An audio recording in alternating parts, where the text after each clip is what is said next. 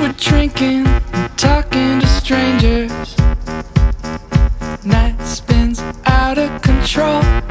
The music is loud and it's waking up neighbors. Fucked up and feeling old. Sometimes it's good to